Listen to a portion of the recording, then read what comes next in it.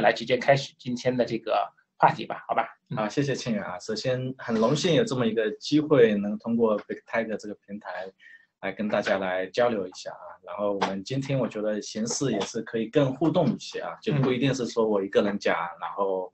呃，构思这个 presentation，我觉得这样的意义没有来相互来交互也好，所以我们最后也有留足够的时间跟大家提一些问题。啊，然后我们今天我讲的这个 topic 是主要是讲讲架构师啊，就是架构师的一个晋级之路题目是，然后主要讲的就是说架构师我们需要思考的问题是哪一些啊，我们日常工作中的一些。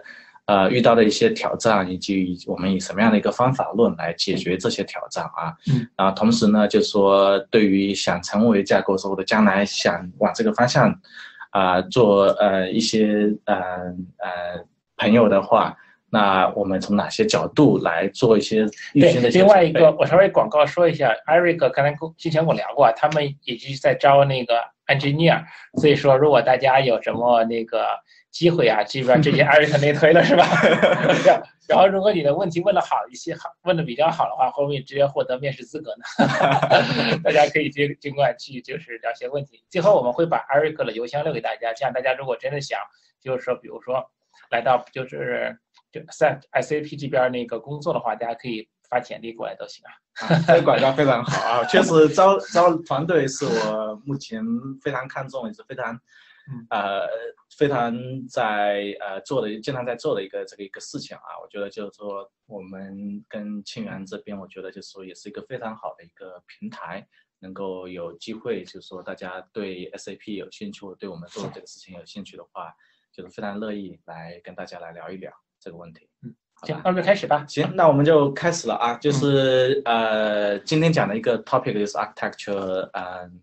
怎样成为这个 architect，对吧？然后我自己的话就是说，呃，简单介绍一下，完美自我介绍，就说在 SAP 大概有十年时间了啊。然后最初也是作为一个呃程序员开始，然后慢慢成为架构师，大概从程序员到架构师，大概花了三年左右的时间吧。那也是说做一些准备，因为架构师它的面比较比较广，然后呢。架构师之后呢，也去过一些呃其他的一些部门啊，一些 business 跟 business 相关的一些部门，呃，比方说 corporate strategy 啊，负责去公司一个战略啊，然后也包括去做一些这个 corporate development，就是 M M A 收购相关、评估相关这些工作，啊，然后也做过技术上，当然技术上这一块是一个核心竞争力了，然后也做过我们全球的 CTO 的一个技术顾问。呃，自己本人呢也在一些小的一些 startup 里面做一些呃技术顾问的一些角色。那目前在做的这个事情是叫 SAP Data Network。那我们呃等一下也会来，就是稍微简单的介绍一下我们做这个事情。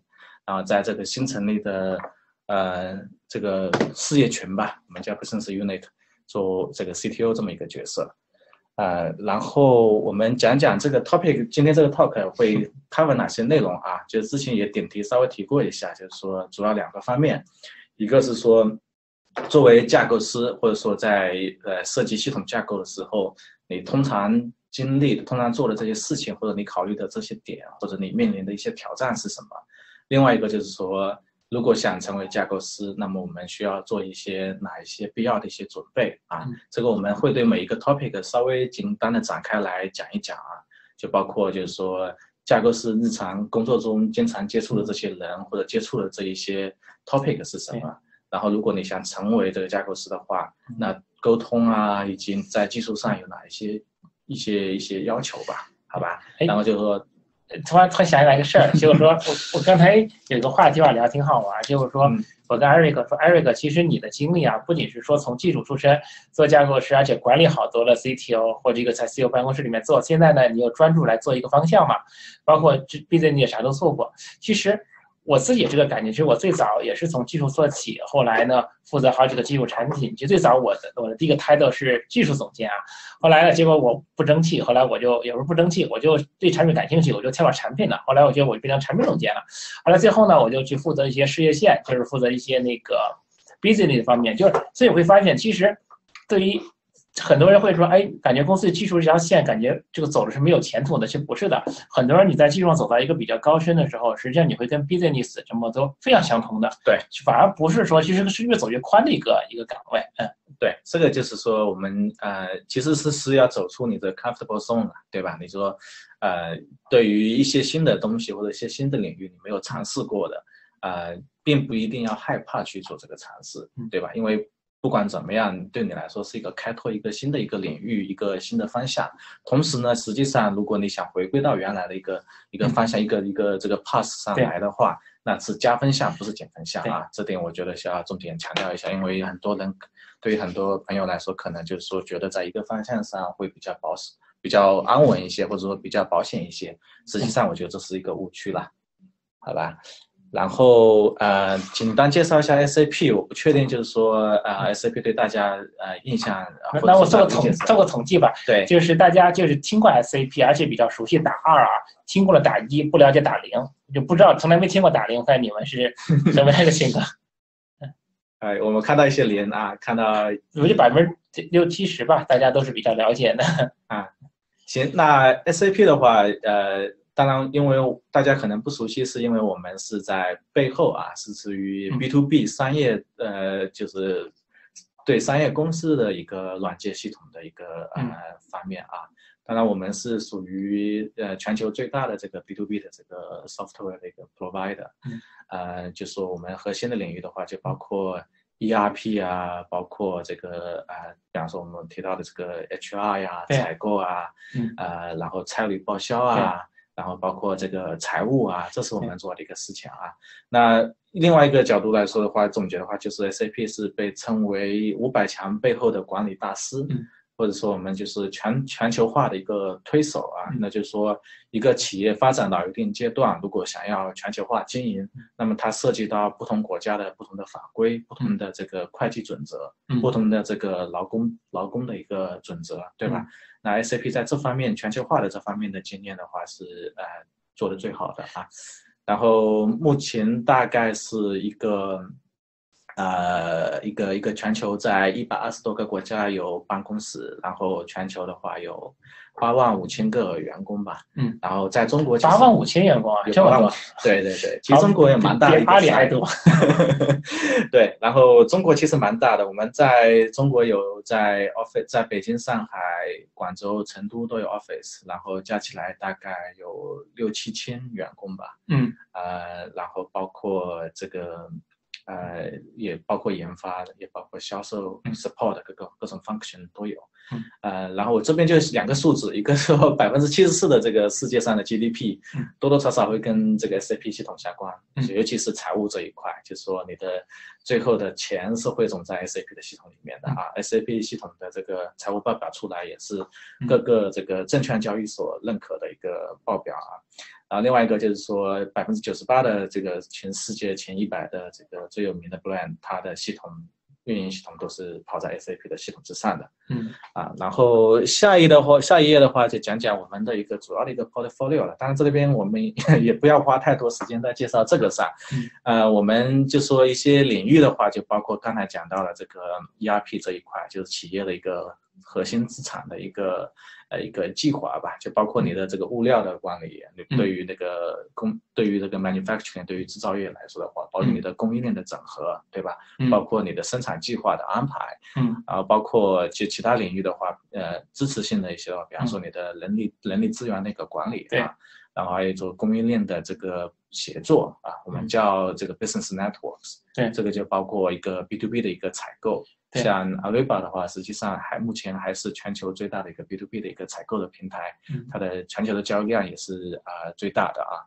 然后还有一些就是我们有一个，嗯，没问题，没问题，我就是我的 OK，一个对，然后呃，当然可能对于有些同学来说了解到，因为我也之前有收到一些问题。呃，一些之前的一些收到一些问题，就是关于 SAP HANA 这个平台，这个 in-memory 数据库的这么一个平台的一些问题。那么，呃，我们就说在这些系统，呃，目前也都是跑在这个平台上的啊。然后 SAP Data Network 就是我做的这个事情是什么事情呢？就是说我们从大数据的角度啊，就是说从大数据的角度，把各个产业线的呃这些数据整合起来，然后提供一个全维度的一个关于这个公司经营状况的一个分析啊。比如说，如果你能拿到，如果你能看财务数据，能看你的供应链的数据，你能看人力资本的数据，能看你的差旅的数据，能看你销售环节的数据，那么能够把这些数据整合起来的话，那你能够得到这个 insight 啊，就是我们大数据，大数据归根到底不是数据，是 insight，对吧？你这个是这个这个这个信息，你最近的这个信息是最有价值的。那么我们认为就是说，我们能够把这些数据整合起来的话，这个信息是非常非常的 unique，非常独特的。然后啊，其实你们才做算是 big data 是吧？我其实也就相当于从公司，其实我们现在也遇到了，比如说我们跟大家的那个 contractor 呀，包括给钱呀，一些财务啊，各种报表，再往后就是我们跟为别的企业的关系，对不对？除此我内部一些资产的管理，甚至再进一步，我们跟其他客户的管理，其实相当于我跟所有人面户这个流程都会被你们管理起来。于是呢，随着这个大数据时代来的，你们是越来越多，于是就能干越来越多的其他的事情了。对，而且我们这个数据说不仅仅是说对于某一个每个公司、某一个组织而言，其实我们看这个数据是看看这个更广的一个面，就是说，因为这些数据都是跑在我们的系统上啊，那我们通过呃，我们就是通过一种 benchmark 或通过这种 aggregation 的方式，能够来看这个。跨行业或者说跨公司、跨区域之间的一个协作也好，或者说业绩表现也好，都能看到，对吧？而且这个价值的话，就是说对于公司经营来说，是你可以通过学习同行业，或者说通过从从其他公司里面，通过通过这个总结的这个数据，能够来应用到你的业务场景上，对吧？这是我们所说的这个 network 的一个 network effect 的一个。网络效应的一个概念，对吧？就是说，通过你的数据和其他公司或者说行业的数据做一些比较，明白了，对吧？大概就是这个这个范围。然后我们切换到主题吧。对，然后第一个 topic 就是说，呃，架构的一个定义，或者说呃，架构式的一个。哎，稍微等我一下下啊，我现在需要调整一下这个，我把这个，我把这个 Q&A 打开一下。嗯，make host，对，然后 leave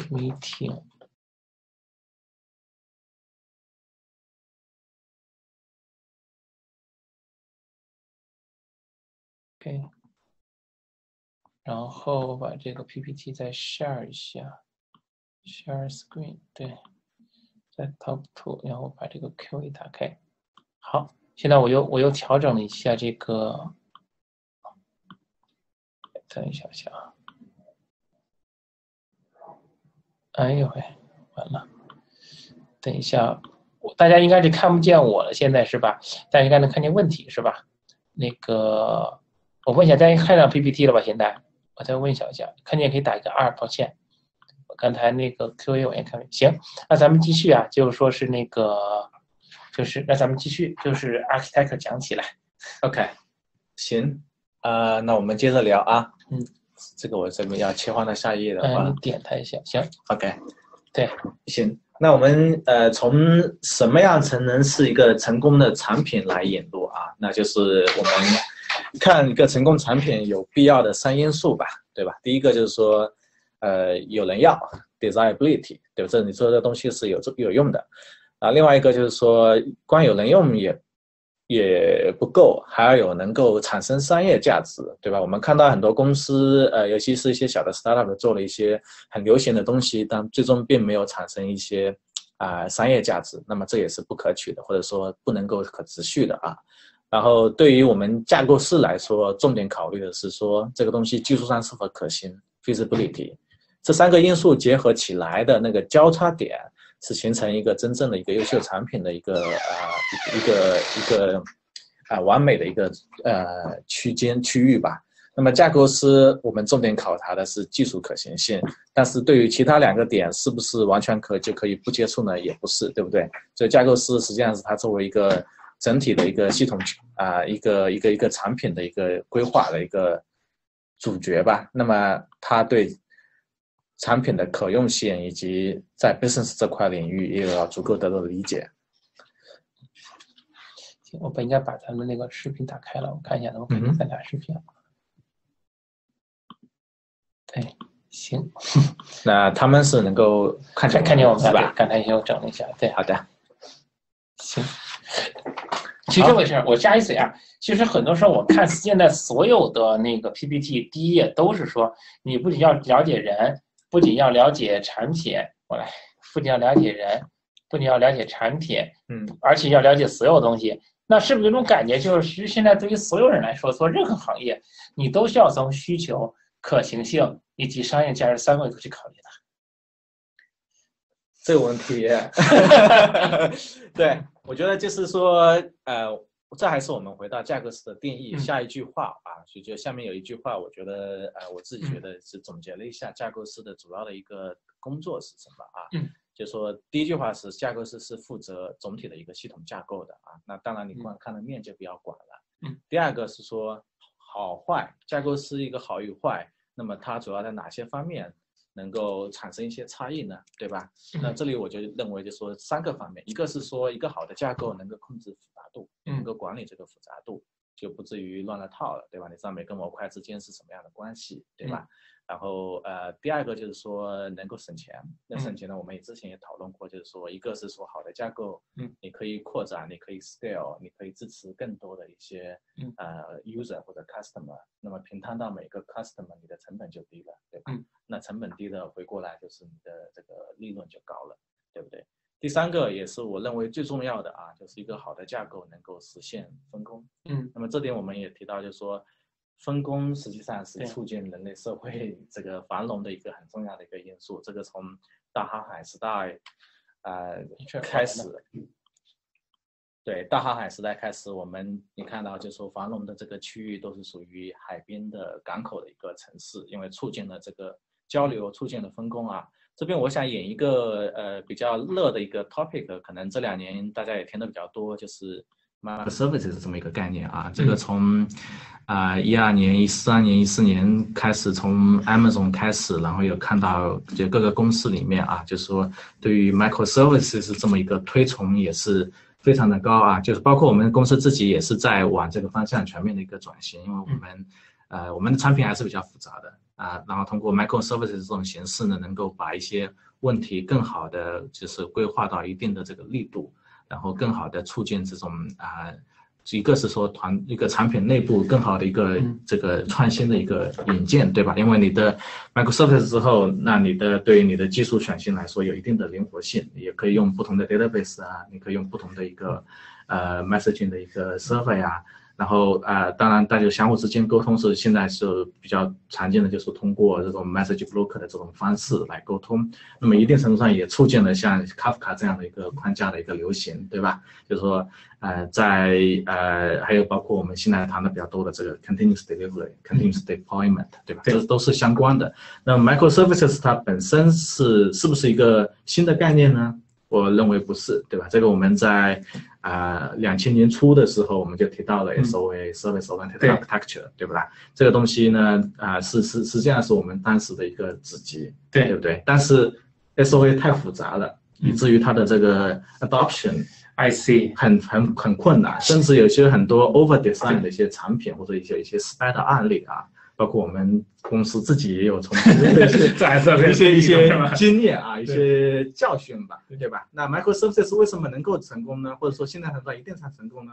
就是说它保证了这个，那拆解了问题的同时，保证了灵活性，保证了这个自由度，对吧？然后相互之间的，啊，尤其是相互之间交互的这个接口啊，对，通过 message block 也好，通过 REST 也好。都比之前的这个 SOA 的这个时候要简单的很多。我能这样理解吗？就是说，最早以前呢，就是大家做这个架构呢，其实就第一句话就是管理复杂性。其实说白了就是给你一个东西，你能把它搞定，是吧？嗯。但是呢，当你做了越来越多以后，你发现，哎，好像那个传统来说，比如最早咱们讲瀑布流的做法嘛，那个时候呢，包括系统的上线也很慢呀，人也很多，乱七八糟，互相依赖很高，对不对？那我能做更好的呢？最后人们说，能不能把一些东西做成一个服务来提供给大家？对。但是在那个时候呢，虽然这个概念有，但是每个服务还做比较重，就其实相当于讲中一个服务解决所有问题。但实际上随着你做要做做要做，诶，有人老说我声音小，大家告诉我声音真小，打一个一啊；声音不小，打一个零；声音小打一，声音不小打个零。告诉我声音小不小？声音声音不小，对，声音不小。如果你觉得声音小是你耳机问题啊，虽然能打听啊，对。再往后呢，就是实际上为什么微服务架会做起来，有一个很重要一点，我觉得跟 Docker 的其实这个越来越。靠谱也有很大关系，对吧？以及呢，其实现在包括 Kubernetes 就这种 Docker 的管理系统也越来越好了。这样的话，你随时启动或多部分都起来。我觉得我读 PhD 时候呢，但是好多人讲讲微服务，当时我总觉得哎这样我觉得挺好。再讲去，我觉得离线上一扯。但是自从包括现在我们自己做 online 架这些很多东西的时候，都拿这个微服务来做了，所以我觉得已经已经是无处不在了，是吧？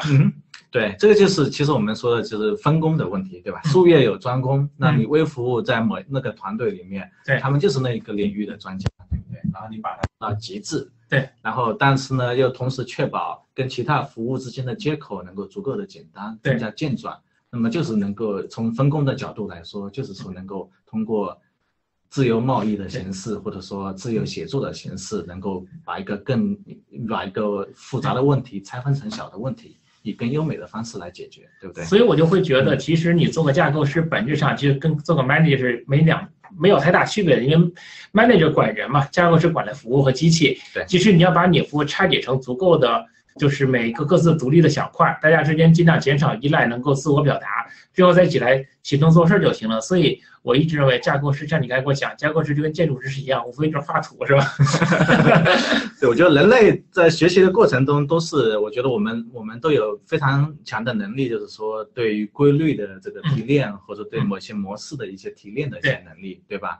那我们架构很多的，现在我们的很多架构的一些理念，一些一些 pattern 都是，比方说从。建筑啊，嗯，这个行业，包括从我们现在提到微服务，是从比方说自由交易、贸易的这个角度，明白，来来考虑，对吧？实际上都是对一个规律的一个总结，对不对？当然扯得有点远了。好啊，我们回来了，我们回到这个主题上啊，就是。然后下一个下一下一页的话，就是说我们想，这个的话就是引导一下啊，就是说作为一个架构师，如果我们从这个图形的角度来说啊，你的就是说从这个 input output 来说，我们有哪些是我们的一个输入，哪些是一些输出啊？然后呢，这个呢大家可以自己的思考一下。然后我们切到下一页。有一些问题啊，我觉得就是通常架构师会问的，然后你可以说自己问一下自己，在日常生活中或者工作中是不是啊遇到过或者问过这样的问题，好不好？其实这样就是大家大家要这样回事啊，大家听一个报告的时候呢，其实我觉得大家应该学会听报告。比如我们讲这一页的时候呢，其实阿一个虽然讲很简单的东西，说你看这一页你要想到底这个架构师他的输入是什么，他的输出是什么，以及他跟什么去进行交互，对不对？这个其实不仅仅是一个画图原因，这就是架构是一个典型思考，对不对？你想任何一个模式，就是你的输入是什么，你的输出是什么，你跟什么有交互。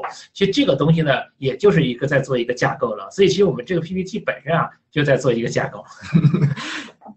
那行也行，我们谢谢金阳。那么呃对，然后就是这些问题是通常情况下。呃，可能会问的啊，比方说第一个问题，第一个问题就是说这个系统有哪些模块？对，模模块之间是以什么样的接口在交互的啊？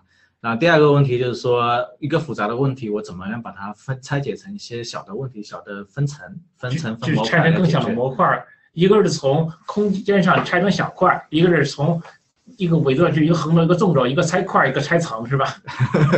你 可以这么理解，就是说复杂度，你用怎么样的方式能够把它能够呃细化，或者说呃更抽象出来，对吧？我觉得是抽象的能力吧，对吧？然后还有一些就是说你在做一个决策的时候，你会考虑到有哪些 consequence，就是说你做了一个决定，嗯嗯，肯定是在一个基于某一个平衡的一个啊有一些好的部分，有些有些 pros pros and cons 嘛，肯定是这样子的。那你这个是不是思考的足够的、足够的仔细或者足够的丰富啊？然后还有一些说是不是哪些东西是可以替换的，或者可以一直在一直在进步的啊？我们说架构是没有完美的，你肯定是持续在技术在更新，然后你的这个需求也在更新。当我看很多公司架构就不更新了，那那就是变成 legacy 了嘛？对，一定程度上就变成变成 legacy，然后后面就基本上就完全被替换了，因为你很难去更新了。对吧？也就是像我们现在也还有很多 mainframe 的东西。对，那那些东西。那你们拿什么语言写当时？这个离我的年纪还比较远，所以我们还有一些客户是在用的这些东西，但我们的产品就是实际上是，呃呃 IBM 的东西，很多在面面分。哎，那你我问一嘴，在你们公司最多的语言什么语言呢？呃，现在的话几个几个几类吧，一个是呃 Python。对，就是说在大数据相关这个 data scientist 相关的很多，嗯，然后 Java 用的很多，嗯。啊，然后还有就是我们自己也有套语言叫 ABAP，嘿，我第一次知道，叫 Advanced Business Programming，啊啊，大概是这个样子的。然后当然就是我们的核心系统是基于 ABAP 啊，它有它很强的一个呃很强的它在这自己这个平台上的一个呃扩展性。呃，然后呃，当然也有一些自己的其他的一些方面，就是说，呃，就是说相对来说，这个 data 的这个 ecosystem 比较小啊，所以我就明白了，如果是一个程序员，现在如果想做架构师方面，先选加 Python 跟 Java，别的就先别做了，是吧？尤其是现在跟大数据相关啊，当然我会也会就推荐说看一下 Scala，我觉得 Scala 是一个很有启发性的一个语言啊，就是说。他的他的他的思维方式来，还有他这种面向数据流的想法是吧？还有一个就是说，呃，functional programming 和 OO 的一个蛮好的一个一个一个结合啊。当然就是它有一定的学习曲线，然后语言也不是完美啊，就是。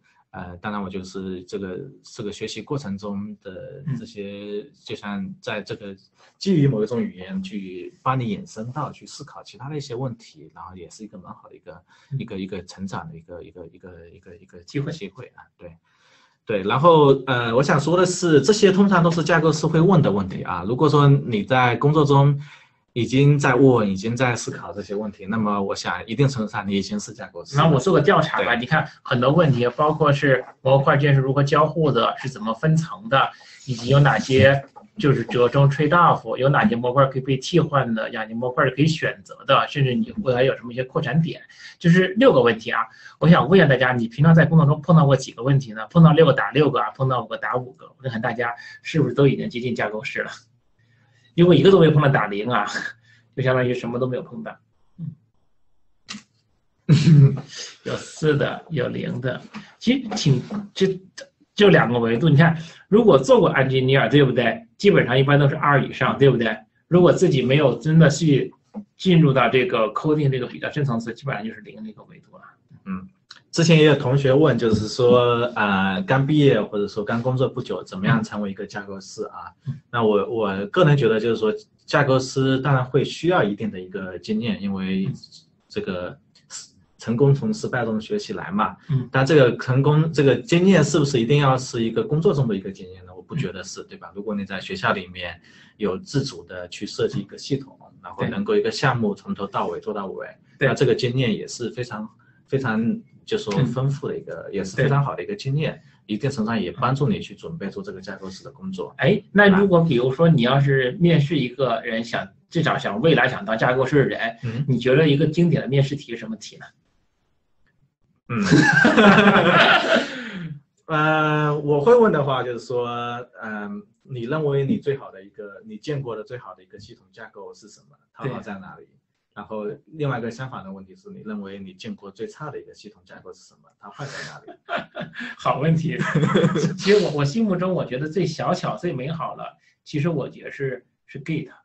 Git 是非常小巧美丽的一套那个架构的，但如果你从宏观上看，其实至少在从理论上来说，包括它的就有哲学思辨的一个架构啊，我觉得是卡夫卡。当然卡夫卡有很多问题啊，我我我跟很多卡夫卡们都聊过，但是卡夫卡是我自己欣喜的这个特别有意思的活动。行，那就继续继续。好的，啊，我就点下页了，我就帮你干活就行了。多谢多谢。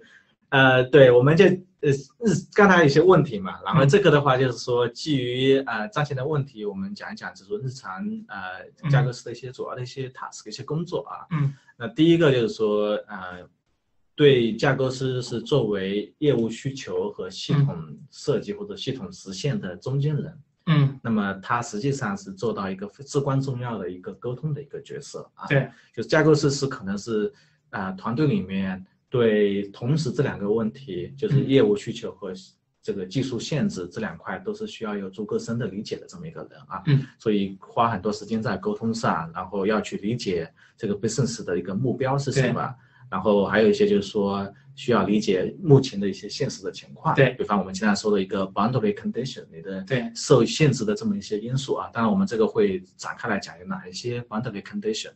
啊，另外一个就是说评估一些架构的一些架构上的一些风险，就是你要对技术趋势有一定的了解，对吧？比方说，还有一个就是说要，呃，就像我想啊，有一个我之前看过你啊，我们也聊过，就是说这个 Snake 原则，对吧？那这个里面也是有一些具体的一些一个一个方法论的一个应用到在系统架构里面来。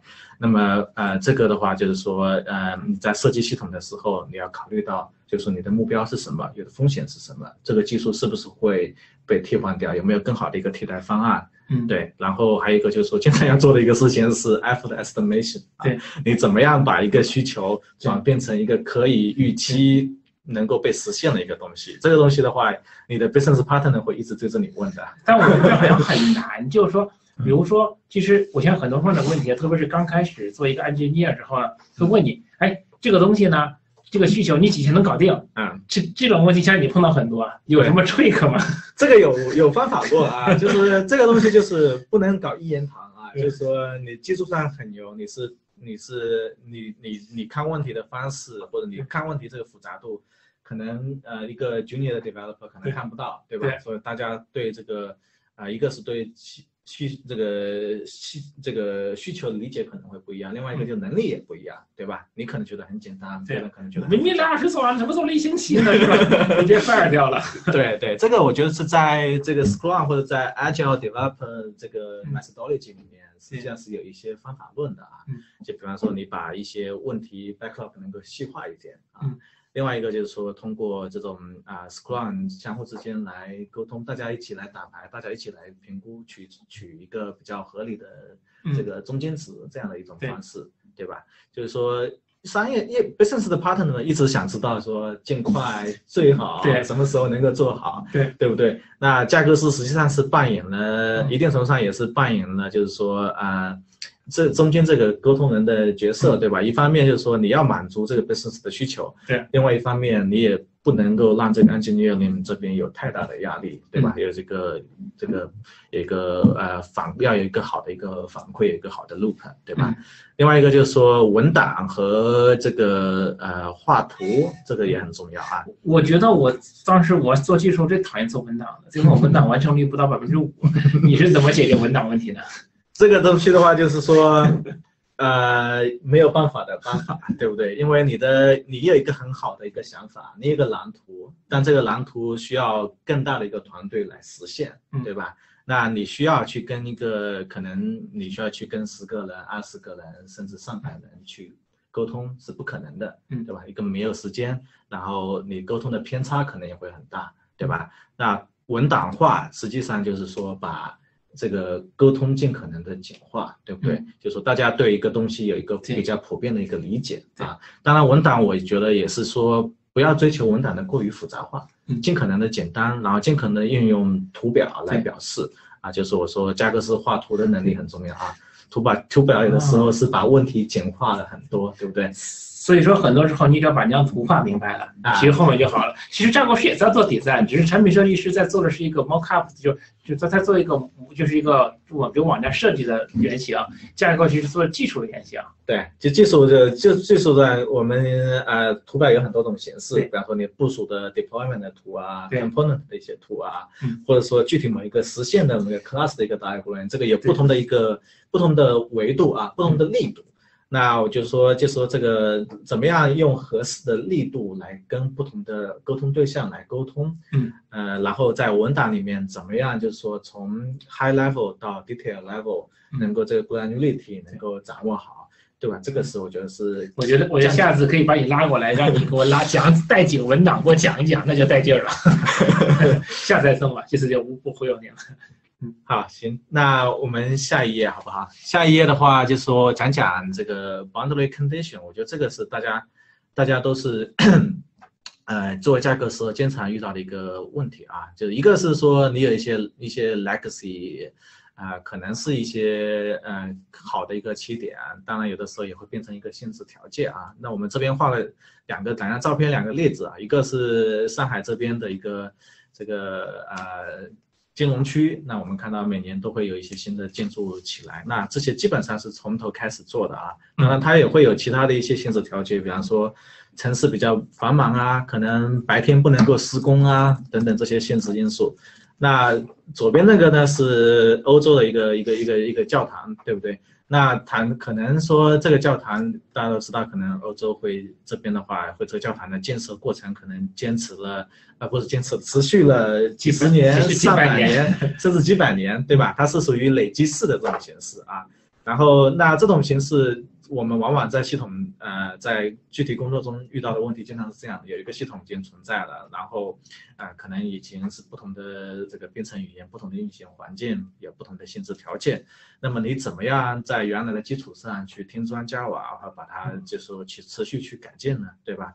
然后这个所谓的这个 boundary condition 的话，我们就说像左边提到，就是说要有一个 consistent look and feel。这个的话在呃，跨在这个各个公司里面都有自己的一套，比方说一套标准，对吧？然后另外一个就是说，你这个 system 这个 landscape 的一些限制，对吧？它运行在什么样的环境里面？你有多少的空间可以腾挪，对吧？还有包括就是说数据的一致性和数据的 migration 的问题，这个的话往往往往非常讨厌，就说。啊，面对一次大的升级的时候，数据模型做了重大的改变，然后啊，尤其是有一些客已经有很多客户在用的情况下，你的这个要能花多少时间去啊做这个数据的迁移，然后怎么样保持数据的一致性？那你一般比如开发一个新的系统，你一般在数据迁移上会占你整个研发周期的多久呢？要等到百分之二十吗？看不同的项目啊，尤其是对我们 B to B 的。来多的话，数据的一致、数据迁移会占蛮大的比重。一半，一一半肯定是没有，但就百分之二十可能算是一个比较合理的一个评估吧，对吧？就说因为呃，B to B 这边其实对 UI 啊，对其他东西可能要求反而没有 consumer 那么高，但对数据要求是很高的，对吧？因为你的每一笔数据可能牵涉到一个具体的一个 transaction，对不对？对。然后除了这些因素之外，其实还有很多的其他的 condition，大家可能也有察觉到，比方说你这个 delivery 的 timeline，这个是往往是一个硬性条件。比方说你这个产品下个月必须要出去，那这个时间已经定死了，对吧？啊，另外一个就是说，你手上有多少的资源，你的 developer 他的这个 skill set 是什么？如果是一个全新的技术，对，那你要有足够的时间给他们做 training，让他们能够 ready，对吧？另外一个就是说，还有一些组织架构啊，这个是因公司而异。就是说，组织架构之间，可能你负责的这个领域跟其他之其他部门的领域之间有一些交集，嗯，对不对？然后你怎么样去协商好这个沟通，对不对？呃，然后还有一些就是说，你只有一些啊知识产权上的一些问题啊，有什么 open source 的你可能可以用，然后如果是 proprietary 可能呃你们公司不能用，对不对？所以这些都是一些 boundary condition 啊。这边有一种有一种这个限制条件，呃，当然我认为是一种积极的啊 positive 的一个限制呃 boundary condition 叫 product standards。极有限制，其实越简单。嗯。对，有的时候就是有一些标准反而会让事情更简单，就对一个标杆变得自由，有一个有一个标杆啊，就说，比方说 product standards，每个公司也有不同的样，比方说，呃，像我们遇到的，就是说有，比方说 security 是肯定有一个标准，对不对？你又可以用哪？你是不是所有的沟通都必须是 SSL 的，对吧？你是不是要加密，对吧？嗯。然后 performance。对吧？你的如果你的呃用户交互的这个界面的话，你的这个 response time 有多少的要求，对不对？如果超过多长时间的话，是不是要把它换成一个 background 的一个 job，对吧？还有还有就是说 accessibility，你是不是要支持这种不同国家之间的？这个数日期的格式啊，这个我一听都觉得很纠。你说这事很纠结，这个日期的事儿。对，还有还有这个除了日期还有很多啊，这就我们啊做 business 的话，很多就是跟钱相关的。你的每个国家很多国不同国家 currency 不一样，你这个这个 currency 这个符号也不一样，或者说呃，甚至连逗号这个小数点的符号也是不一样的啊。像欧洲很多国家小数点是用逗号来表示的啊，然后阿拉伯有些国家有些语言是从到从右到左的啊。所以这些都是属于一些 international 的事情，对，也当然这个不同的产品不一样啊，就说有些是有一些有个标标标准在那边的。其实我很好奇一个问题啊，你你刚跟我讲说时间是一个限制性条件嘛？你给我说句实话啊，你自己负责了一些产品，你按时完成率能到多少？我还真没做过，这还没做过这个统计啊。你给我说实话一点。首先我还这个还是比较积极的来来来回应啊，就是大部分的东西。都是按时完成了，要不然我已经有很大的 trouble 了。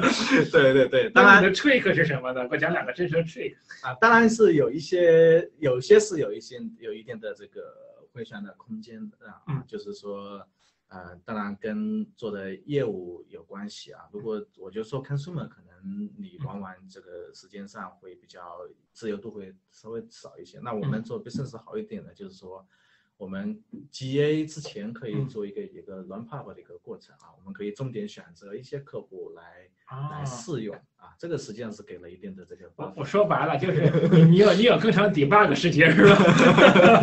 对，然后另外一个就是说呃这个就是说还是说 engineering 这一块要有这个 transparency 吧，对吧？你就比方说你用这个呃我们说的这种啊 test driven 的这种 development。你 test case 写的足够的好，然后对我来说，我比较关注的就是说我怎么样来保证质量的话，一个是我确实我都参与一些 code review 的一些 session，啊，所以我对产品的呃研发进度也好，大概是有一个有一点数的啊，就如果有预警的话，我提前应该已经大概已经知道了，需要哪边需要 allocate 更多的资源，然后另外一个的话就是说，呃。跟嗯团队里面也需要去跟呃关键的一些人物做更好的一些沟通啊，嗯，包括我们就说内部自己也通过一些 project manage 这个 planning 的一些一些工具来提高这个 productivity，对吧？就说比方说用 Jira 啊，你去看一些啊报报表的话，其实上对进度还是能够了解。所以说你就在看整个 feature 的完成率之类的是吗？对对对，有尤其有一些 metrics 吧。对吧？有个很，呃，当然不，我不想说的太复杂。我们确实有几个 slide KPIs 在看的。嗯，我今天哪几个？你再具体点。呃，比方说那个，呃，每天增加了这个 issue 的数量。每天增加的这个解决的 issue 的数量，对对吧？然后你说，但是你很难归零啊。结果总来说，它就不断的上涨了。我感觉是不需要归零啊。对你只要在一个呃线线的，不能说 不能说线线的，但是说就是说你每天解决的问题和新发掘问题能够相对保持平衡，嗯，对吧？然后当然有些这个要看 priority，如果 priority 很高的，very high 或者 high 的，那当场必须都要解决，对吧？有一些 low 的可能是更多是一个 development request。那可以到后面的 support 的过程中去解决，对不对？那那你们都最后一个问个 tough 点问题啊？那你们加班多吗？嗯，大公司嘛，就是大家可以理解的，所以说 work life 是比较 balance 的啊。当然，所以加班啊，我是不提倡加班，嗯，对吧？然后呃，另外一个就是说，嗯，加班的问题呃，还是在 planning 的时候要做好。对吧？如果你说这个项目的 future，呃，产品的 future 比较多，然后那你在 planning 的时候要做的足足够的、足够的呃详细或者足够的明白了，就不会产生就是说经常要加班这么一个问题。好，我又扯远了，我给扯回来好了。OK，那呃，我们提到刚才提到都是说怎么样的满足产品的功能，对吧？那我想有个观点啊，就是说，当然可能也是我个人的一个观点啊。就说好的架构和不好的架构的差别，并不在于是不是满足产品功能。没问题，应该应该不是这个话筒问题。咱们继续。嗯，对，就是不是满足产品的功能？我的观点是不是啊？我的观点是非功能性的方面才是真正啊评判一个架构是好是坏的一个关键点啊。那你作为架构师反而不做功能，你说非功能性评判你好与不好？为什么这么讲呢？因为功能是必须要满足的，嗯，功能是功能是必须要实现的，但是你实现有很多种方式啊。那如果一个很一个不好的架构嘛，就是说刚刚好解决了一个产品的功能，但是你在扩展性啊，在易用性啊，你在其他方面可能没有做的足够好，对吧？然后真正产生差别的是说，或者说那个东西做的漂亮不漂亮，是看非功能性的这些因素。那我说非功能性的因素的，我们下一页会来讲有哪些，我叫 quality attribute。或者说质量属性，点过去吧。对，就说有哪些质量属性啊？我觉得这些这些才是真正产生差异的一个。是不是面试的时候你只要把走吧这些列背下来，基本上就能及格了，是吧？呃，对，呃，就说对左边这些要有个比较深一点的理解啊，就是说，呃，availability。那我们说 availability 这个也实际上在 S L 里面已经是。白纸黑字在合同上写清楚了，你必须要满足，要不然你就要罚，有 penalty，对吧？啊，那我的问题可能会更深一步。那为了确保 availability，那我给你限制一个条件啊，比方说，呃，我要实现百分之九十九点九的 availability，那有哪些方式？嗯，呃，当然我可能真正面试题的时候会范围会限定的更小一点，比方说针对某一个 SaaS application。在啊，什么样的一个技术的一个 technical stacks？我懂了啊，然后得给自己留点后路是吧？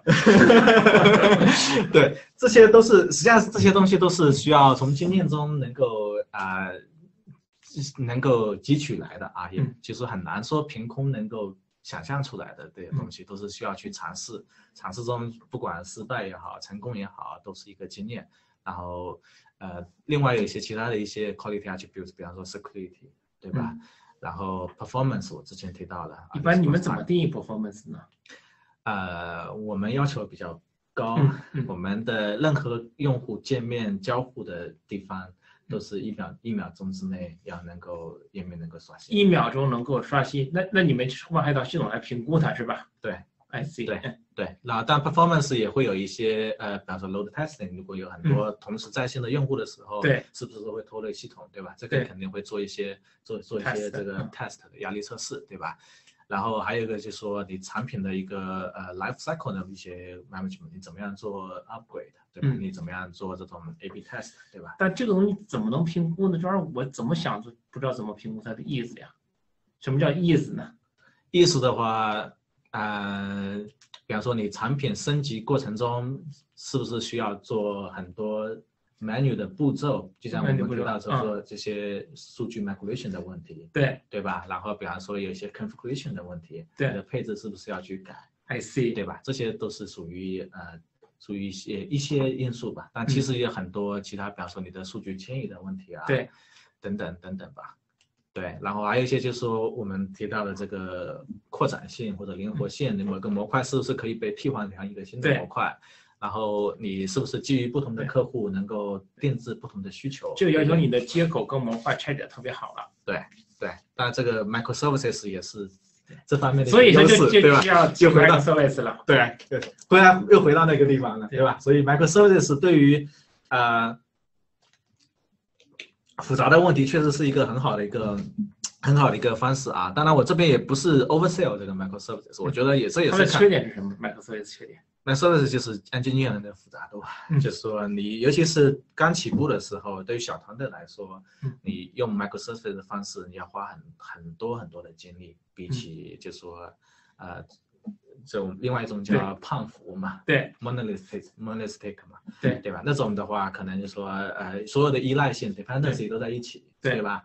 那对于小的项目来说的话，我觉得完全可以了，对吧？就是说，你为了达到 microservice 服务的一个 engineering 上的，包括包括团队文化，嗯，对吧？就说你说 microservices 就离不开 DevOps，离不开 automation，这都是一起的。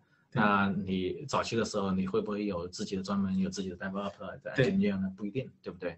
然后还有我们之前提到的 continuous delivery，对吧？Docker container 这套东西，对不对？你的你的管理的复杂度肯定比去 AWS 啊去 spin up 一个 VM deploy 要复杂的。我基本上听懂了。现在你反复讲几个关键词：microservice、嗯 Docker，然后持续部署，对吧？包括你要讲卡夫卡，所以这些关键词都是如果想成为一个架构是，必须很熟练理解，至少咱先理解的东西，是吧？要理解他们之间的差别，然后在什么样的场景下能够适用。嗯，对吧？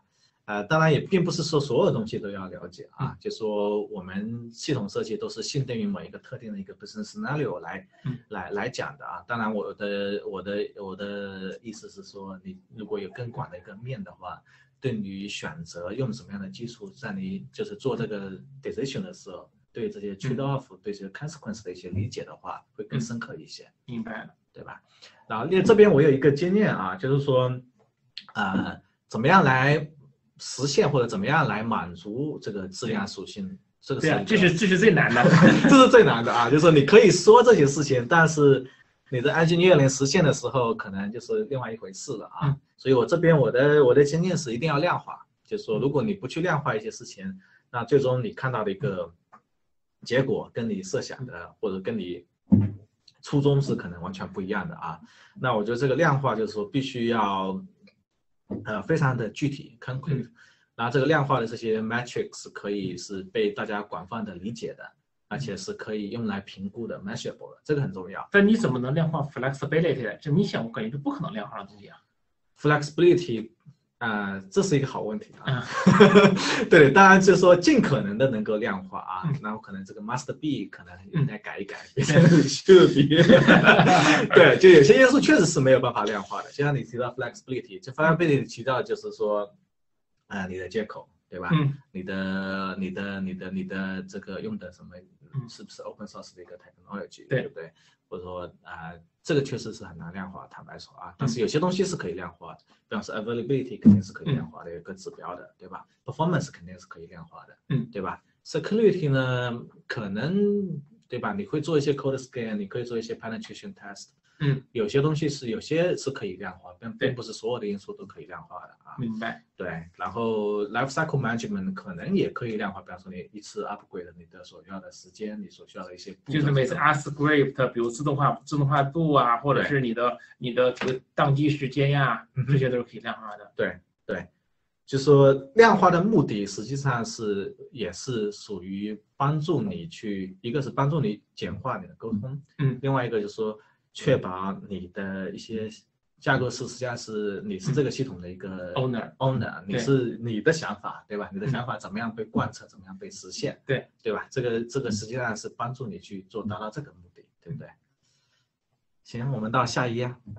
对，然后呃说一些具体过程中的一些一些一些 challenge 吧，嗯，对吧？因为我们之前提到了这些 boundary condition 也好。这些业务需求也好，也包括知道，就是说差异在于这些 quality attribute 质量属性啊。那往往这些因素之间是相互之间是有冲突的，对对吧？那你架构师的所谓的价格式的一些挑战，就是说如何在这些冲突中找到一个平衡点，找到一个最好的一个解决方案。对，啊、呃，当然也必须要接受的说，这之间肯定有一些缺道，肯定掉坑是吧？肯定一些妥协，对吧？就说你说你就是看你的妥协的这个点，或者你的妥协的。和你的带来的这些这个好处上来说，怎么做好这个平衡啊？这边就举到一个举到一些例子啊，就是说怎么样保持这个扩展性和一致性。你你给我举个例子，你给我举个你自己参与的一个项目，最后怎么来保证它呢？我举到一个，我就我就拿第一个来说吧，这个扩展性和一致性啊，好吧？就说我们我们之前设计了一个一个一个一个系统是关于呃关于一个呃嗯、呃、那个叫叫什么叫呃我们叫这个呃我一直想不起来那个名字，一个好长的一个名字。它干什么用的？它就是它是做啊、呃、数据还是属于一个 analytics 这块，就是数据分析数据分析的一个模块，这样理解吗？数据分析的一个端到端的一个解决方案啊，就是我们说也是说收集一些，这是某个具体的客户的一个一个一个一个项目。那我理解就是客户有很多数据需要对从收集到存储到分析，最后产生报表。对，但是这个问题是说，我我说这 consistent 和 extensibility 这个这个 balance 在哪里呢？就是我们当时设计这个东西是说，数据是可以呃增强的。对，这个数据增强是通过可以呃客户可以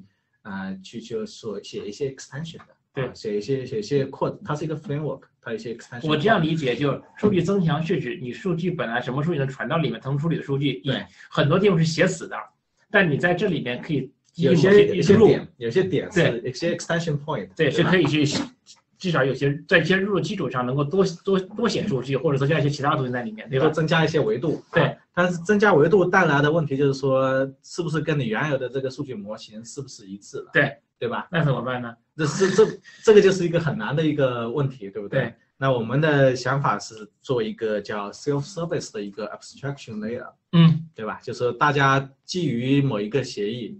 做一做一个中间层，对，然后这个中间层去定义这个我们的数据的模型，嗯，对吧？那这个数据模型定义好之后，对两边都是属于一个一个 contract，对，对吧？这样子的话，就是说数据增强这一边，呃，就说 customization 这边，如果他们要去引入一些新的数据的话，那我们用这个中间层去做一些中间层上这个 schema 做一些扩展，我明白了，对吧？这是一个呃，当然这也不是一个完美的解决方案了，后面还是遇到很多坑的问题。对，但是就说一定程度上降低了这个冲突，就说既能做到一数据的一定的一致性，同时能够一定程度上能够扩展。啊，当然就说其他的。嗯，这个问题我其实也，我们现在现在做这个事情也在遇到这个问题，都会的，因为你当你做一个数据处理架构是，永远会碰到嗯。什么数据能进来，对，无论你做，包括你现在做模式人也是一样的，所以说都大家前面基本上都会有一个语义结构，这个 schema 你定义的多好，实际上往往会决定你未来这个系统的扩展性多好，对，这反而是一个很有趣的个一一个架构问题了，对吧？但它更偏向于是一个自然，它不是自然语言，就是个语言级别的东西，非常好玩，嗯嗯嗯，对。就说其他有很多其他的问题啊，就是我们就说还有一个就是说 usability of performance，对吧？这个其实呃也是一个，我觉得也是一个呃比较比较有冲突的一个一一个一个一个情节吧，对吧？你为了达到更好的一个 performance，嗯，那你是不是要尽可能说降低你的数据的一个处理，对吧？那你提提供的这些信息也好，或者说你的你的那个呃，如果界面是不是太 fancy 啊？对，也会影响这个 performance 这个 render 的一个 time。那我理解就是你把，所以说我见过很多 B to B 的软件都做了非常丑，是因为为了增加性能吗？有一部分的考虑啊，当然这个也是一直在啊，还有一个就是说 B to B 的为什么丑呢？是因为它的界面太多，嗯，因为功能太复杂。嗯，对吧？那很多时候是你是你是你是 build 一个 framework，嗯，让让客户让实施团队能够自己去创建这个界面。I see。所以它的界面很多是通过工具来生成的。我懂了啊，这是一个一个一个，当然是一个 trade off 了。就这也是一个叫做一致性或者一个一个扩扩展性的一个例子，是吧？对，就其实这其实一个一个 trade off，这是功能上的要求很强，能够自己能够去呃 business 的 people 能够去 create 一个 application，嗯，对吧？当然，你的另外一个后果就是说，这个界面不可能像一个对 designer 设计出来的一个界面那么漂亮。明白。我们下一页。好，这这个这一页的话，就是一些小的技巧了啊，就是说在面对这些挑战的时候，有什么样的一些办法啊？那也是个人的一些，就是说一些分享。就一个是说，把主要的一些模块能够呃列出来，然后把他们之间的关系能够理清楚啊，这样子的话就。呃，帮助你就是理解这个问题的前后因果因素啊。然后另外一个就是说，嗯，我觉得一直我自己觉得一直很有帮助的是说，不要停止去呃去寻找替代方案，嗯，对吧？这个这个并不是寻找替代方案，并不是一个呃说你不坚持做某一个事情，不是指这个意思啊。然后我觉得对架构师来说，就是说。呃，需要需要有这方面的一个一个一个一个准备，或者是这样一个动力，就是说，你认为架构是不可能完美的啊，就是说，呃，架构肯定是会有一些缺陷，肯定会有一些可以进步的地方啊。那这个进步的过程，就是说，其实是架构是在自己在，嗯，自我总结也好，或者去接触更多、去了解一些新的东西之后，去寻找替代方案也好，对吧？往往有的时候就是说，因为你去花时间、花精力去去看这些问题，你会发现一些新的想法，对吧？或者说有，甚至说你有时间，或者说做一些简单的一些测试，做一些 POC 去验证你的想法，对不对？甚至说，甚至会影反过来会重新去影响这个 use case。我觉得这个方面是我觉得是很有帮助的。包括我自己啊经历的一些项目，我们早期的时候往往是说把东西搭起来个工作，对不对？这是第一步要实现的，然后后面可能花蛮多的时间在不停的演化这么一个架构，对不对？当然啊，沟通也是很重要的。我觉得就是架构是永远是一个团队的一个决策啊，这个团队不仅仅是技术团队啊，就包括业务需求，包括你的客户。啊，包括你的合作伙伴，包括你的，就说你的，呃，支持 support 你的产品，最后去面对客户的那些人，对不对？如果你做了一个很烂的东西，那客户一直抱怨，实际上受受累的是他们，对不对？呃，当然现在 develops 可能是你的程序员 developer 就要负责，那么这个可能这个问题你就会更加在意了，对不对？所以我觉得这个 feedback cycle，呃，能够就说能够跟更多的呃早，尤其是早期，更多的去听取意见，呃是很重要的啊。那这边有个两个例子，我就不细讲了。就是说，performance 有很多种方式，对吧？你可以加 cache 啊，你可以呃换 database 啊，对吧？你可以就说降低这种呃远远程的调用调用啊，或者说你说用这个 message 呃异步的方式来处理啊，对吧？就很多种形式，然后每个每个产品都可能有不同的需求。那有的时候你可能也不仅仅是选择某一种形式，你是要组合多种形式。是左边是一个经典的面试题答案，对吧？比如说我的网站性能突然觉得很差，怎么办？对吧？嗯。第一个答案是优化数据库，第二答案加 cache，第三个是降低用户调用或远程调用，第四步就是用一些异步的方式来在后台做。对，也不一定是全部都要用，就是我觉得这个就是呃，就像信源你以前讲的一些课程，就是说，呃，看具体的一些需求，对吧？你要知道你这个 sizing，你面对的这个用户是什么样子的，那对吧？这些呃，然后去呃选择哪一些具体的一些 optimization 的方式啊。因为像你右边这个就保证数据一致性，你会提到了一个是数据同步嘛。一个是基于发布者就就是订阅模型嘛，对，或者是有中心存储，其实这些反而是我觉得这三个决策的方案，嗯哼，就是你在不同的场景下，其实更重要是你要选择送什么合适的，嗯，你要选择合适的，对，没有最好的，只有合适的。OK，对，然后呃，一张图总结一下我们之前讲的架构师的这个面临的工作以及他打交道的一些人和事吧。好吧，就是，呃，我们看到最右边就是架构师的很大的一个框啊，就是说明架构师在一个团队里面的一个作用啊，就是它实际上是一个中间点啊。换这个图其实应该换一种方式画，把架构师放中间是吧？这个图没画好，呃。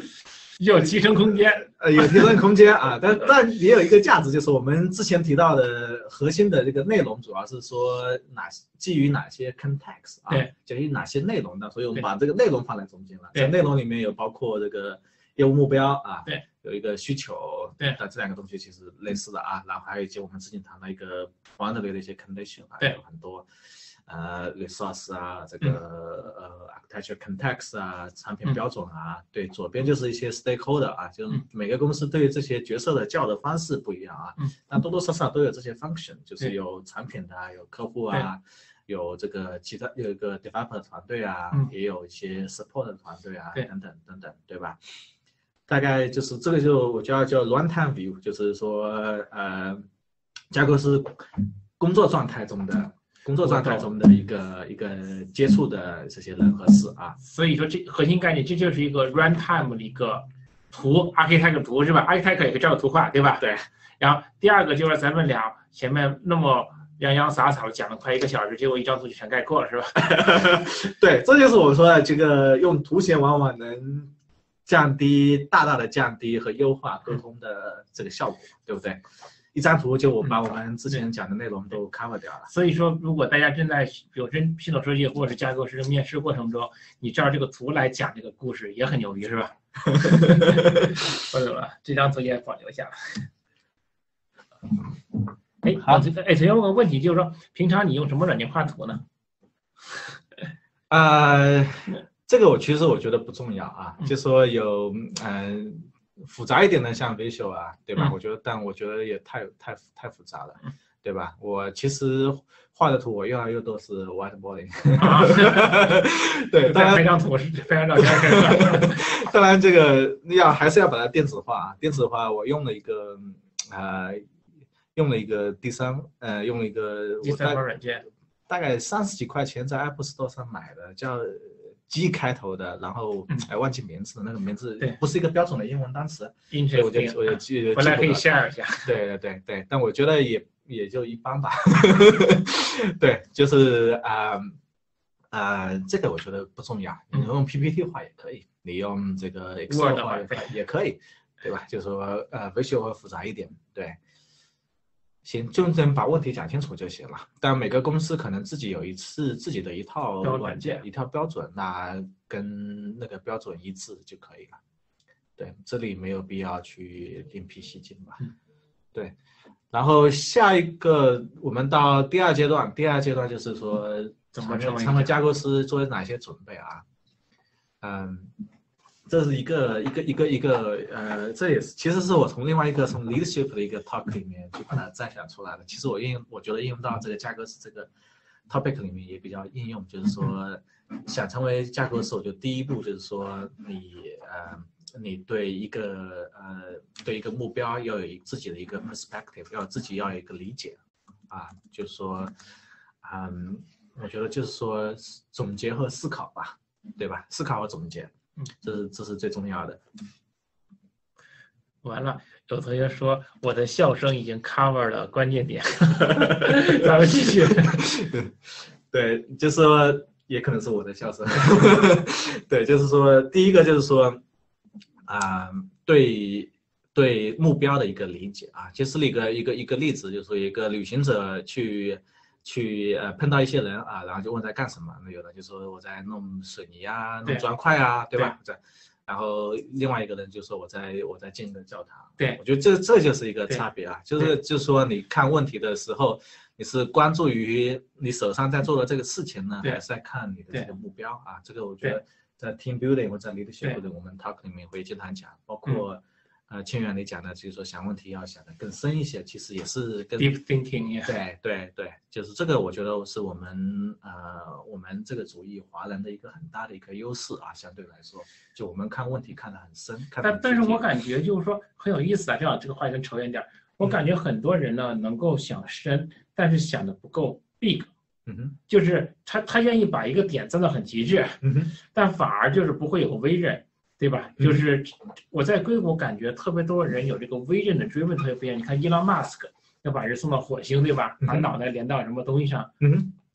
包括你看像 LinkedIn 的那个 CEO 就是那个 Jeff Jeff Weiner，他就会说：“我希望增加整个世界的 awareness wisdom，对吧？”嗯哼。这种感觉特别好。所以，但这觉这这个东西很好玩。我慢慢的，今天我突然想通个道理，就一个人的成就真的跟他的这个。像 purpose 也好，叫 vision 有关。嗯，就比如说我们做 Big Tiger，你可以说我们在做的是一个那个职业培训，对吧？你也可以说前我们在帮人找着工作，但是呢，你也可以说实际上我们在做一个终身学习的一个平台。嗯当然你也可以说其实我们在帮助十亿人一起来终身学习。我觉得这个东西，当你从不同角度去想这个事儿呢，你才能 inspire 你自己。你才能 inspire 更多人，所以像你说，我盖一个教堂，那感觉就特别好。对，就是这是我觉得是一个自我激励，也是激励别人的一个一个一个很好的一种形式啊，也是我觉得是一个 leadership 的一个一个一个关键点啊。就像我们。就最有名的不就是那个 JFK 说的嘛，就是要人送到月球，就说了一句话，对不对？这就是 vision。那后面有了这个 vision，有了这个目标之后，才能够把问题细化，才能够去真正解决问题。那架构师面临的事情是一样的，对不对？首先说你我要有个什么目标，我要去解决什么样，然后再把。其中的这 building block 能够筛选出来，把他们的关系能够理清楚，对，然后找到一个合适的解决方案，对不对？其实回过来说呢，为什么现在大家可以看到，就是说我也努力争取一些我非常关键的那个 presentation 或者我的 talk，需要我来帮忙主持一下，就是大家今天可以来说，一，纪元，我今天就听了一个讲座，这是 A 啊，有人说啊，纪元，今天我想理解架构是怎么做。但是呢，其实你也可以学习，哎，我应该怎么去做一个更好的报告？我应该怎么去相当于被一个问题理解更深？实际上，你看，包括我们讲每个概念的时候，有时候给我会抓住 Are you right, Eric？你给我举个更具体的例子，对不对？这个就是想我们看能不能去落地。而另外一个维度就是说，你怎么在仰望星空，对吧？就是你看的这个这个整个 picture，对吧？架构是是怎么样的？比如未来它是不是还能跳到 business，还能当 CEO，还能当比如说 VP of product 都可以去当的？你怎么来去做这个事情？要这么去想这个东西，甚至你可能你自己的观点是什么，能不能嵌到里面，对不对？或者这个 PPT 做怎么能把这个深度做出来，对吧？中间穿插哪些故事让你来想？这些东西大家都应该去思考的，而不要把自己当成一个被动的接受者，上去就是哎呀，秦源我就去听一听这个讲座就完了，那样其实你就在 waste your time，其实你反而我觉得对吧？事情给给做小了，行，扯远扯远了，呃，很重要，但是很重要，我觉得这是这是很关键的，就是说呃做事情或者说呃是一个主观能动性的一个问题，对吧？然后呃如果你自己是 fully motivated，你想去做一个事情，你就能把它做好，对吧？我觉得人的能力是可以有很大的潜力可以开发的。对，然后先讲这也就你说是吧？对，既然讲架构嘛，就是呃也得讲点 讲点这个呃接接着刚才那个话题，就是说这个要有一个 big vision，对吧？我觉得架构师的话，就是说这个知识面还是有一定的要求啊，就是说。就像我之前说的，你要不停的去寻找替代方案，对。但是去寻找替代方案的前提是你得知道有哪些替代方案，对吧？然后有一个呃，有这篇文章吧，这个呃，Matt 下面有一个叫做 Matt Turk Turk，对吧？对，他他有有个链接，反正下面那个 Big Data 那个右边那个就是啊，就是他可以搜到，对，大家也可以去看。我觉得就是说这一篇文章作为一个。呃，entry point 吧，作为一个作为一个入门，然后去看一下这个圈子或者 big data 这个 landscape 的话，是一个很好的一个切入点啊。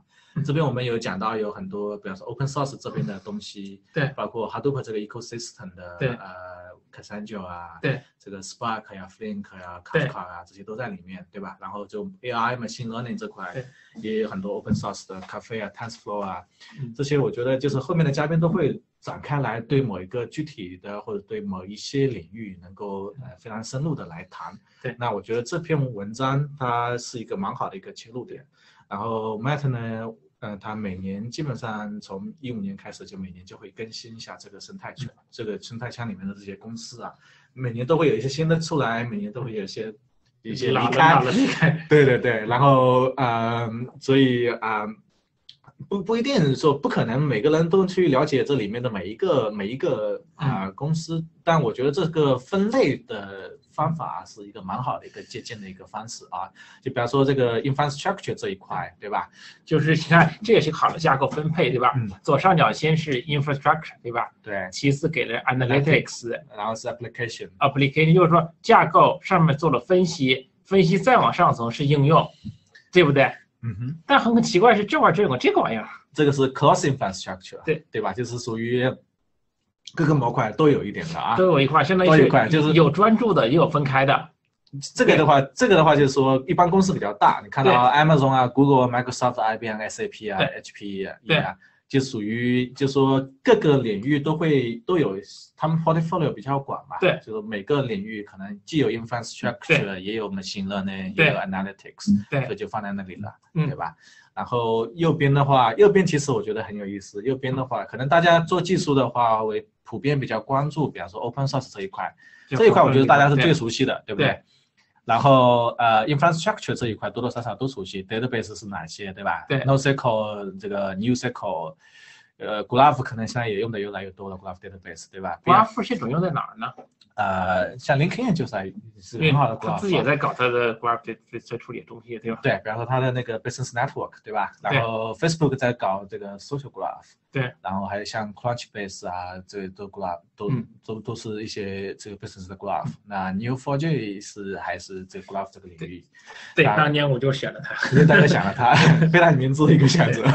对，我觉得这技术这一块啊，大家可能多多少少会比较比较熟悉，但我觉得右边这些其实也蛮有蛮。蛮有意思的，就是说具体的某一个应用领域啊，比方说 sales marketing 啊啊 legal finance security，它有通过大数据来解决具体的应用问题的啊，healthcare 这个很有意思。所以说，大家如果想对某个领域有了解，基本上到时候图里一看，这几家公司一 search 就就搞清楚了，对吧？对，这个这个这个是这个东西，还是我当时做 MA 做收购相关的时候我经常看。哎，我咋没看见 B Tiger 呢？我希望哪个时候哪有没有 education 啊这一块在这里啊 对？Learning，你看。Learning education，education，你看没有我们太气人了。好，明年就有。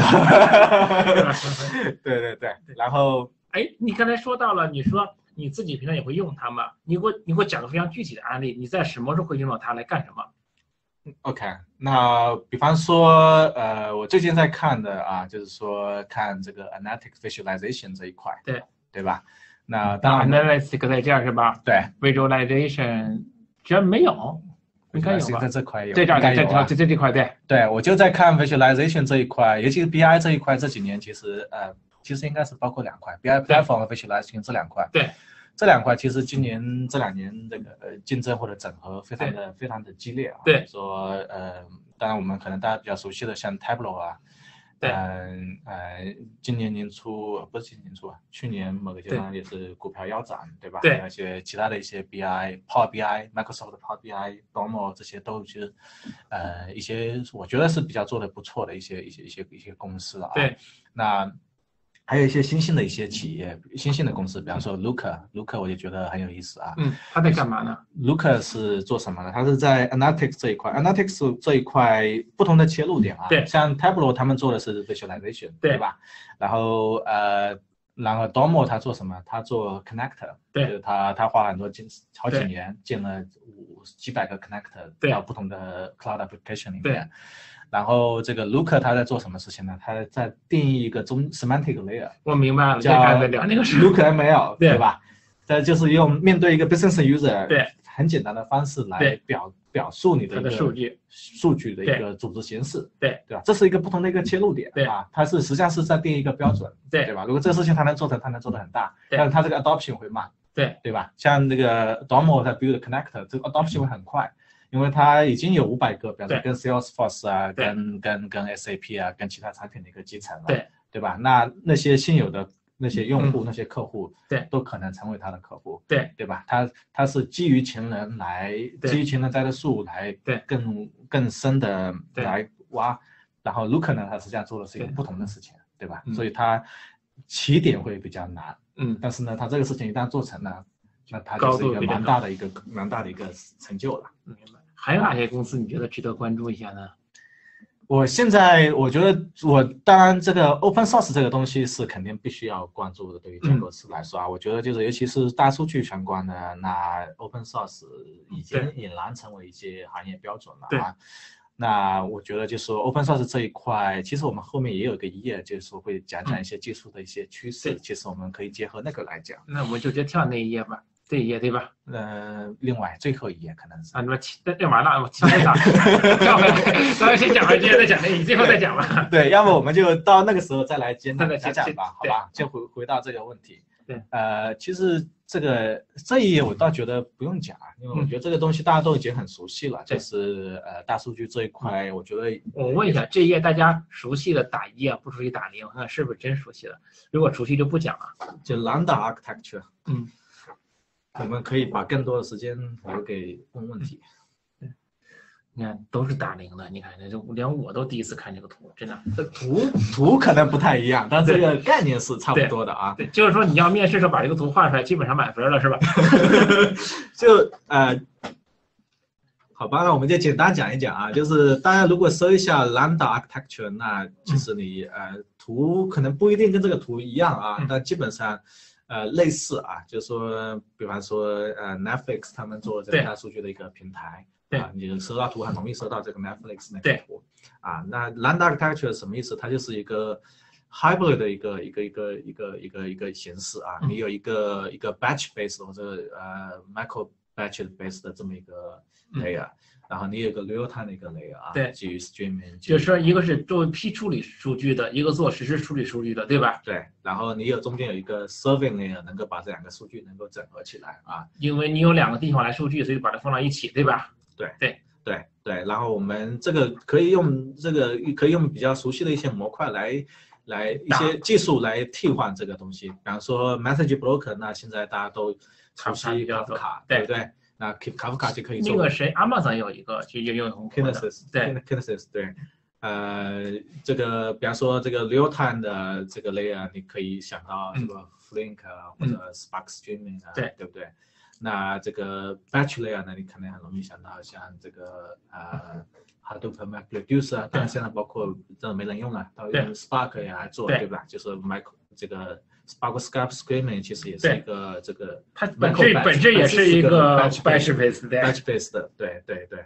但呃，Kafka 也可以用来做，Kafka Streams 也可以来做这个 real time 的这个，对对不对？做一些简单处理。对，然后啊，Serving Layer 呢，啊，Serving Layer，Serving Layer 这一层呢，就是说。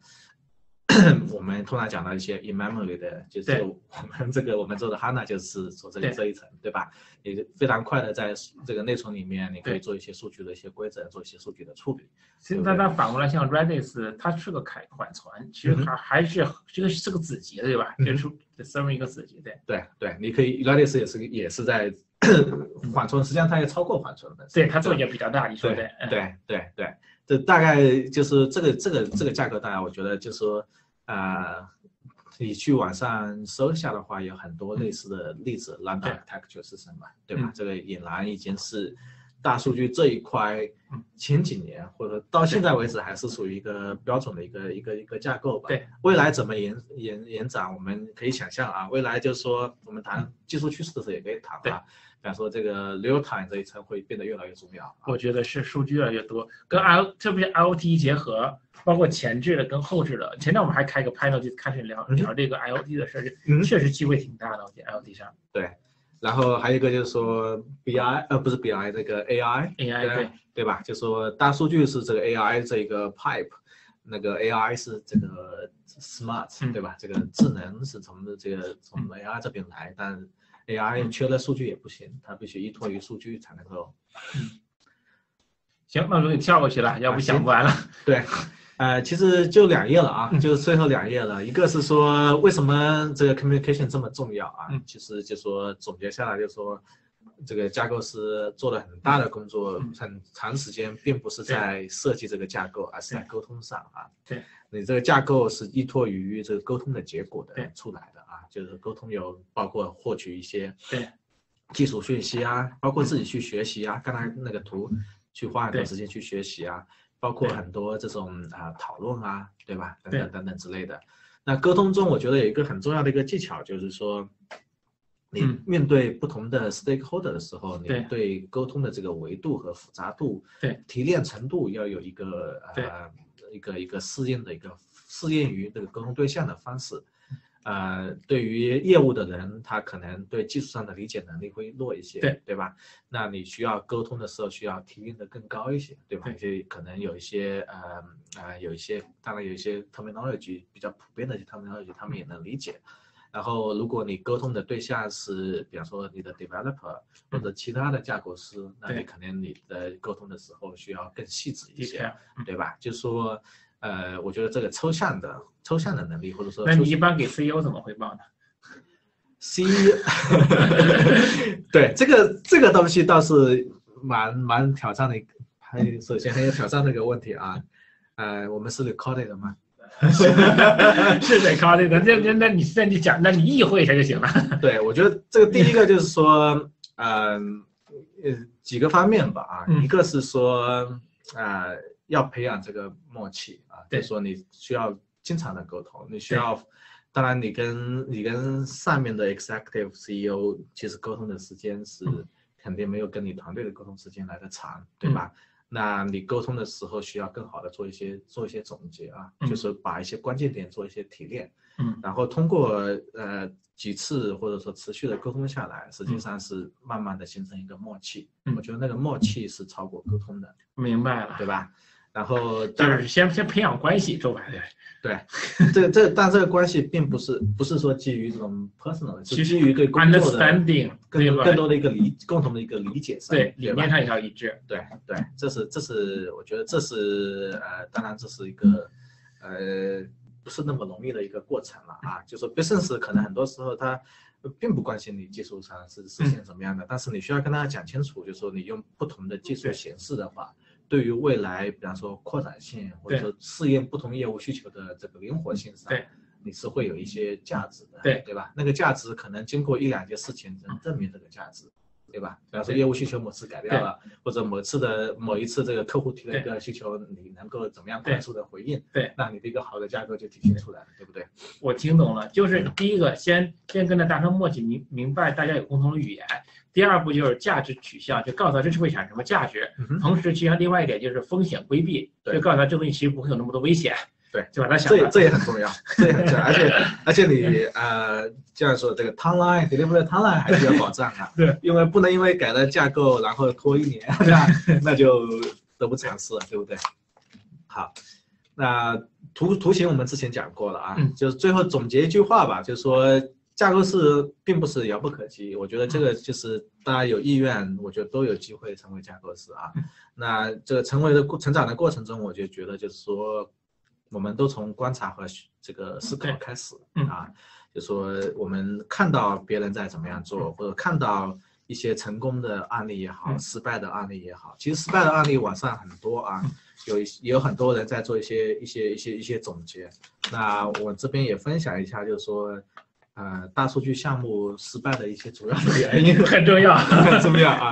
那并不是我经历的啊，我也是听说了，或者通过其他的跟其他人沟通，观察者是吧？或者从呃从这个呃客户啊，或者说朋友之间，我们也听到了，就是说，呃，大数据项目很多的失败，一个是太注重技术而忽略了这个不实的一个需求，对对吧？数据其实并不是。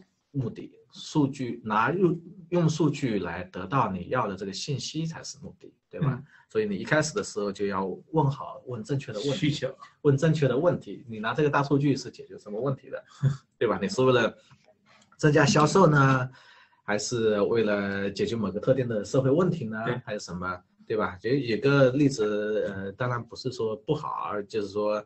呃，大家可能也知道，就是说，Google 曾经做了一个事情来预测这个流感的对那个事情，对吧？对 这个段子，就是说，呃，最后结果下来就是说，预测的流感的准确性偏差很大啊，可能差了一倍。他不是，他这个故事这样，当时第一次他他最早是这个发论文嘛，就非常牛逼，他预测出一个地方嘛，对，之后再长期观察就越就很烂了。对，这这这个归根到底，这个什么问题呢？大家有不同的版本啊，不同的思考啊。啊，一个说法就是说，呃，网上去去呃 type 去搜流感的人，对，并不是那些真正的流感的人，对吧？那这个就是属于数据取样的问题，这个数据 quality 不够。对对，是数据或者说取样的方式就不对。如果如果能给每个人脸上装一个温度计的话，基本上肯定最准。对，或者现在有说现在 wearable 的方式，对吧？那就是另外一个一个一个一个概念了，对。然后另外一个就是说啊，有了数据之后，你需要有足够深度的这个 subject expert，就是专家那个领域的专家，对，那个来来看这个数据，他不一定是说来看这个数据本身，但是来定义这个问题，对对吧？或者说这个这个数据能够拿来做什么，这个是需要 domain expertise 的，嗯，这个是没有办法规避的，规避的，对。然后另外一个就是说，呃，数据啊。数据这个 insight 拿来之后干什么啊？对吧？所以一定要就是说，如果要做的足够大的话，那这个 insight 要有商业价值，要能够商业化，能够成功，能够在应用的应能够在它的领域里面真正被应用到，能够预测股市变化是吧？对，就是呃，就是怎怎么定义 metrics 的问题？有些 metrics 是太浮于表面，或者说。就说这个 metrics 并没有真正的一个业务的一个价值，对吧？所以你要关注在那些真正有价值的商业价值的这些 metrics 啊，对。然后观察和思考提炼，然后最后最重要的是要愿意做出改变，对吧？就说呃，愿意去愿，就像愿意去挖掘自己的潜力吧，对吧？就是，嗯，人往往在某一个稳定的环境里面，就比较。这可能个性会有一些差异，对吧？就是说，稳定和这个风险是是不不同的，我就选择好，我就选择风险，从来不选择稳定。对，就不同人有不同的偏好，这个这个偏好是不一样的啊。我一直觉得只选稳定的人都是 loser，加引号了，加引号的。对这个，对我觉得不同的人有不同的自己不同的一个生活方式，我这个无可厚非，对吧？但我觉得就是说，嗯，当你想做出一个改变的时候，当然是说要去 take 这个 risk，对不对？呃，其实很多时候就是为了给你一个更不同角度的思考吧。就是有时候，有时候有些话可能听起来，特别是你看网上很多故事很极端一个言论，但就那个极端言论才有可能引起引起你去从另外角度思考。但是你也不要陷入这个极端的言论，其实你也应该是有你的自己的想法一块去组合，对吧？而不要去 lost 自己这个感觉。你没有必要去 argue，因为很多言论是没有必要 argue 的。但是你做个维度去看，这就很好了。嗯哼，嗯哼，又扯远了，扯回来，扯回来。行，最后你就简单说几嘴这个趋势吧。啊，好，行，那最后我们说一下这个大数据或者数据相关的这些几个趋势啊。当然，我觉得大家呃都今年，尤其是今年。大家都也看到，就是 AI、machine learning、deep learning 在各个领域的一个应用吧，对对吧？包括就 data data scientist 也变成目前最火热的一个一个一个工作。我们有 data science 课啊，还有 AI 课啊，大家记得上。对对，我觉得 AI 确实是到了爆发的时机了啊，就是说几个几个因素吧，其实一个是。呃，硬件的因素、数据的因素，对，当然算法一直都是 commodity，对吧？对。然后 deep learning 确实在某些呃特定的领域里面，包括 self driving 啊，还有呃嗯，就是像我们 是 AlphaGo 啊这些事情，在某一个 specialized 的一个领域里面，确实他学习到了人类这种在提取这个 pattern 上面这方面的一个一个一个能力啊，就说这种呃应用场景，我觉得。在这个未来今年或者明年，我觉得会在不同的应用领域能都能够，呃，产生一些真正有非常有价值的、能够足够大的一些应用情景吧。那我明白，基本上这一页你给的这六点，就是你觉得如果大家选方向或者是想获得基础点，就应该从这些来看，是吧？比如 AI，第二就是你其实想讲一个。就是肯定的讲了很多刀客啊这些东西，对吧？对，这个的话更多是这个的话来说，你都我们讲到这个 continuous delivery 啊，然后 DevOps 啊，automation 啊，都跟这个有关系，明白对吧？这个我们这个也是，呃，有很多的材料可以更更更进一步的去深化，对吧？有个呃，包括这个 Docker 啊，Kubernetes 啊。呃，这些都是一个非常发展的非常健壮或者非常的火热的一个生态圈了，现在都是一个 community 了，对吧？然后 microservices 跟这个是完全相关的，我想现在。面试难免都会问一些 microservices，你要不答答不上来，肯定是就其实这样 container 提供了我做实现 microservice 的一个方法，其实是一个更我觉得是实现 microservices 的一个更优化的一个方法。明白了。但并不是说 microservices 一定要依托于 container，其实其实并不一定，对不对？其实我写很多 node 也写或几个服务都很多我知道。对对。